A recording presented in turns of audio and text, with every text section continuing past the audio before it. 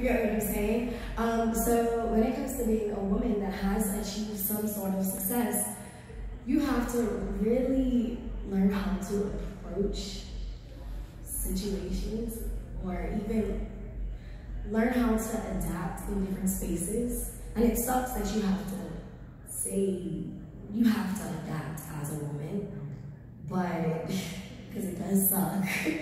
but at the same time, you, you don't want to come on too strong, you don't want to come on too educated, you don't want to come off as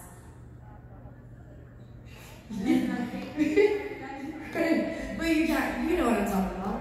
But yeah, you don't want to come across as a bitch. Yeah, exactly. That, that's what people automatically assume as a successful woman. If you're speaking up or if you're in a space, if you have already achieved all the accolades that put you in this space, you're Like, and, and, that's just so crazy to me that women can't be successful and be powerful. Like, men can walk in a room and sashay across the room, and they're just seen as powerful. That, yeah, they're being the leader